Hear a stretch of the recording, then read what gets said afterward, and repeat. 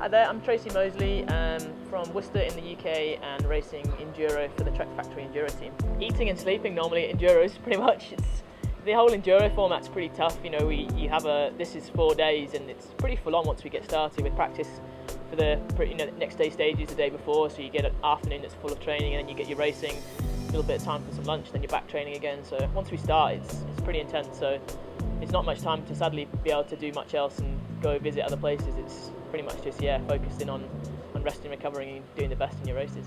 You know, when I first started racing downhill, there was quite a few girls. Missy Giove and Caroline had amazing battles um, through the downhill circuit when I was growing up, and a lot of the American girls were, were kind of the inspiration back then. The US circuit was probably bigger than the World Cup almost, the NORBAs. That's changed a lot now, but they were definitely inspirations. And for me now to be racing Anne Caro on the enduro circuit is something that I never dreamed would happen. So it's pretty cool to be racing someone that you looked up to and respected for a long time growing up as a, a young mountain biker. So I'm enjoying being able to you know battle it out now on uh, the enduro scene.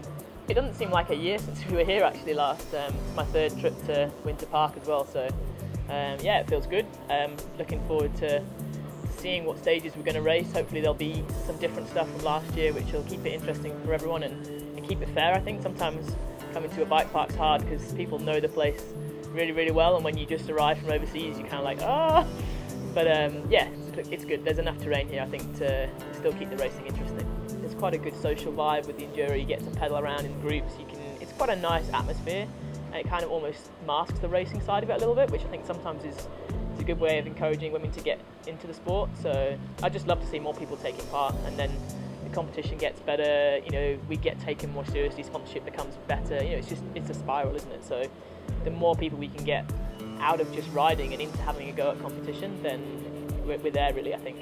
In some ways, I'll be good here because it's quite physical and that's been probably my strength this year. But also, the bike park and the jumps and the berms is not my kind of strong point either. So I know that I'll uh, I'll get pushed pretty hard here. I think so. To win is going to be a, a, really tough tough one. But for me, just to score you know good consistent points for the overall is uh, is the key. So yeah, hopefully just having a good weekend that sees me in the, in the top two or three would be would be perfect really.